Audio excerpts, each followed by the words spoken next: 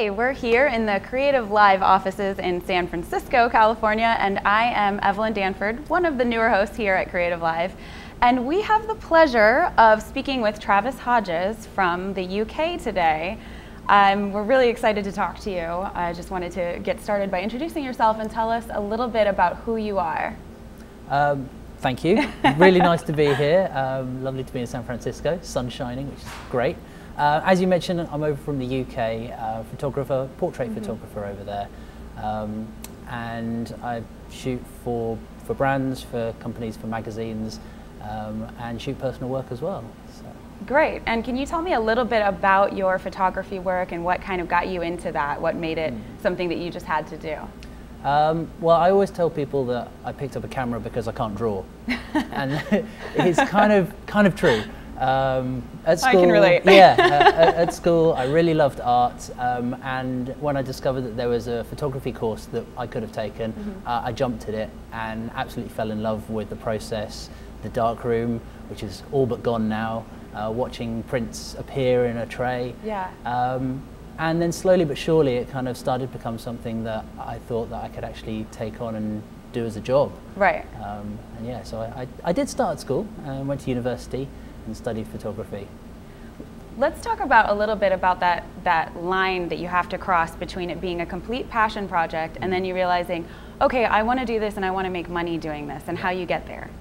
Yeah, it's, uh, for me, it was yeah. a slow process, learning all of those different bits because you do, un- you don't understand when you first start mm-hmm. that it's not just as simple as taking pictures. Right. You've got to run your own business. Mm-hmm. You've got to cover all of the bases yourself and there are skills that I still don't have all of them. It's a it's a work in progress. Yeah, yeah, and you're still learning how to be your own like bookkeeper and how to be your own marketing person. Yeah. Um, so it's all of those different things, and that's what separates doing it as purely as a passion and doing it as a business. Actually knowing the ins and outs of how to run a photography business. So Travis, you worked on um, one of your more recent projects that involves social media and Twitter. Mm-hmm. I was very excited when I came across it. I thought it was a brilliant idea. It's called Follow Me. Um, it's a, incredible. Thank you. Can you tell us a little bit more about it? Um, so the project is based around Twitter. Yeah. Um, and I, it, very basically, I went out and photographed a string of connections through Twitter each person that I photograph selects the next from those that they follow, making an unbroken chain of relationships. Yeah. Um, and each image is built around their online persona, their online identity. So there's little clues to who they are. Right. So hopefully the viewer will find a connection that they might want to go and explore and meet this person on social media themselves. Yeah, and what's fascinating is each person that you kind of happened upon, in a sense, is a very interesting individual, which is really cool also that you, you don't think your network is going to have this many really amazing people, but it does. Yeah, yeah. I mean, it's, it's, it's fascinating to meet all these individual lives.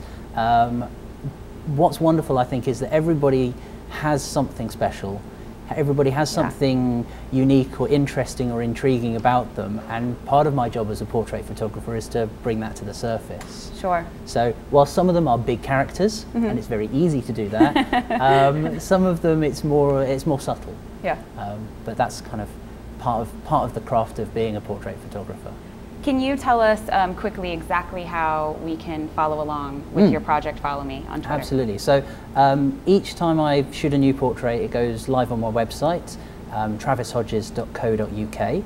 Okay. Uh, and obviously, being connected to Twitter, you can follow me and I tweet about it and follow the other people in the project. Uh, my Twitter handle is at Travis Hodges UK. So the Twitter handle is at Travis Hodges UK, mm-hmm. and then the website is Travis, Travis Dot co.uk. Yes, absolutely. Gotcha. Just want to get it straight. Real quickly, I know that you have won a few awards along the way. And I mean, aside from, I think that it just, it, as an artist, it kind of reminds you that, yes, I'm on the right track. But can you tell me a little bit about those awards and what they meant to you and how they might have helped you along your, your path yeah. in? Um, I think awards are very important for you not just winning them, entering them. Yes. Because you learn what you're entering, you learn why you're doing it. You have to write about your work, you have to explain yourself. And that as a process is really important as well. It allows you to um, be a bit better at explaining your art when you go for a meeting or you're presenting to a client. Mm-hmm. Um, so that side of just entering is really, really useful. That's a great um, point. I'm, I'm very lucky to have won a couple of, uh, a couple of awards for my work. Um, and the two of them came from my graduation project from university. Uh, so I shot a documentary project uh, about teenagers and their lack of something to do, essentially. Um, it, was titled Dead Time, okay. which was the time in the evening when there isn't anything for them to be doing. There was nothing in the town for, for them, but they weren't allowed to be at home because maybe their parents didn't want them there. So they were literally hanging around on street corners. Um, and I don't know if you've got the, the term here in the, in the US about hoodies. Hoodies. You know what a hoodie is? Enlighten us. Hooded jacket. Oh, sure, so, sure, yeah. Um, in the UK, particularly in the UK media, or a few years ago, there was a big thing about hoodies being the scary, kind of dangerous teenagers. Um, and so I went out to meet these hoodies, hoodies. these scaries. Gotcha. Um, and found that they really weren't very scary. Isn't that usually how it goes? That's the thing. So, um, so yeah, that was the project that I shot, and Great. that um, uh, received a, a Jerwood Prize which is a prize for photography largely focused on art photography, and it came third in the Observer Hodge Awards, uh, which is a more documentary-based competition. Okay. So it's really nice to see the work recognised or seen by very different viewpoints. Um, always interesting to see how people interpret your work from their own perspective. Absolutely, absolutely. So in terms of style, Travis, mm. you definitely have a style that I pick up on, and I'm not a photographer. I mean, I do it via Instagram, and that's it. and I can okay. pick up that you have a very specific Travis Hodges style to your work. Um, I'd love to hear you talk a little bit more about that for the photographers out there. What what that means, how you found it, and what you do to really grab that each time. Um, yeah, I think it's it's an ongoing process. Yeah. Always, you you're you develop your style, what you're shooting, um, and how you're shooting. I mean, I when I was at university, I started. I didn't even know I was going to be a portrait photographer. Um, so I think your photographic style comes the more you shoot, the more it develops. Mm-hmm. Um, I started off shooting medium format exclusively, mm-hmm. um, and I love working with bold colours. Um, so I think that kind of pushed across as I started using um, digital right. and adding lighting to my work. I think the, the bold colours and the kind of the strong lighting is something that I've uh, practiced at and taught myself to be able to go into any situation and, and light it. Um, right.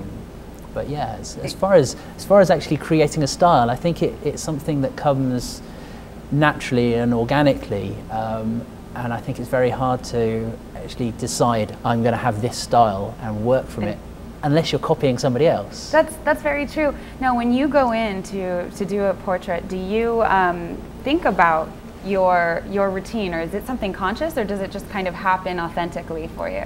Um, I will go in with an idea in mind, mm-hmm. um, whether it be from the environment that I know I'm going into or the person that I'm photographing. And right. I'll go in with a couple of kind of sketches in my head. Yeah. Uh, but then it becomes very organic um, to be able to grasp the kind of moment to use a, a, situation or an environment or something that comes up while you're talking to somebody and the kind of serendipitous moment that yeah. comes.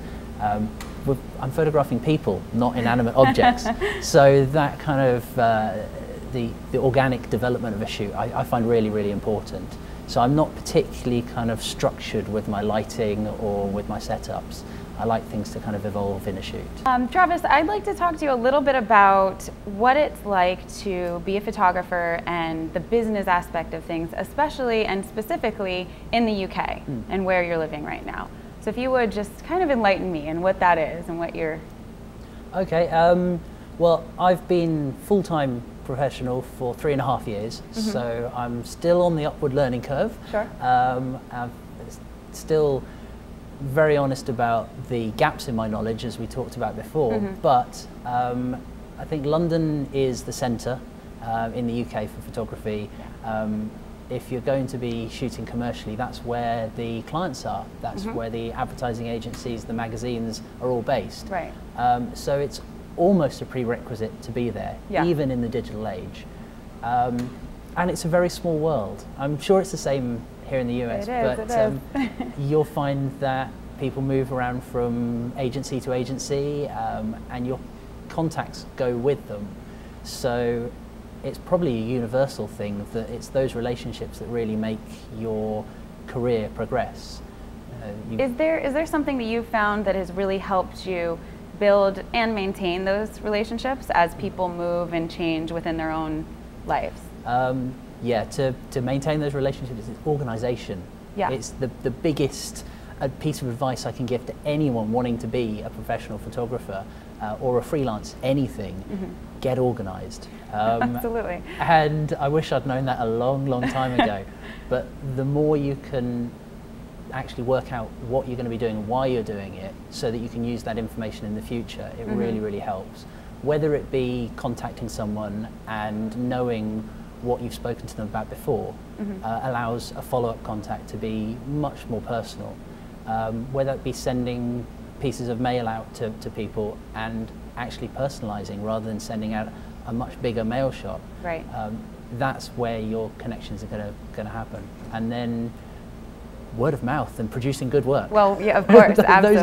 it's kind of come in front of everything. So, when you have a conversation with somebody, do you take notes eh, about like the main topics that you, you touched on so that you can keep it personal the following time, or do you have this like brilliant mind kind of memory? No, my, my memory is terrible. Um, so yeah, I mean, I, I try and take notes, uh, okay. whether it be when I'm actually speaking to somebody or after a, a meeting. Um, yeah, it's yeah. kind of you show your portfolio and you, you should be learning from people's reactions to your work as well. Right.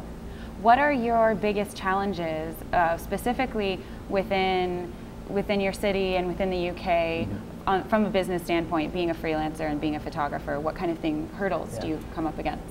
Um, well, first, as with everywhere, competition. Of course. There's yeah. a lot of photographers out there, a lot producing great work. Mm-hmm. So it's important to find ways to step yourself uh, you know, above or to set yourself apart from other people.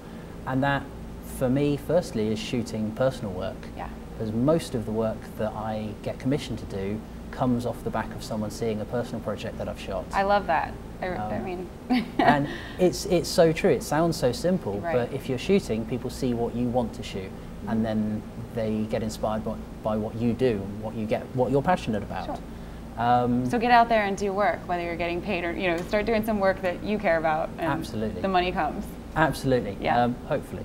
but but yeah, that's that's kind of what it's all about. You know, yeah. the the personal work leads to the work, or hopefully leads to work, commissioned work. Terrific, terrific. And um, we did talk a little bit about a group that you organize. Hmm. Photo Forum. Photo Forum. Thank you. Yes.